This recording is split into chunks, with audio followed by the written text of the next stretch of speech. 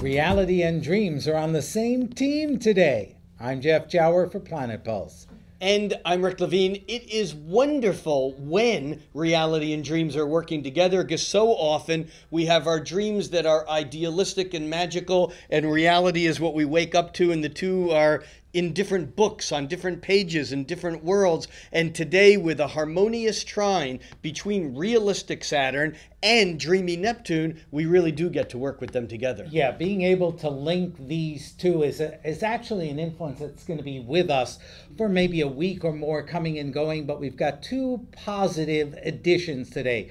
First of all, the moon is in creative, expressive Leo, and that'll certainly feed our dreams. But there's some sharp thinking aboard as well. There is. Mercury right now is in Scorpio, which is sharp thinking by itself. Because Scor- Scorpio, Scorpio is very perceptive. But Mercury today is forming a harmonious aspect with powerful Pluto, Scorpio's key planet. And so there's the sense that our ability to think is also an ability to go deep, to get right down into whatever it is we need to, to do the mental work that allows us to get to where it is we're going and to make those dreams come real.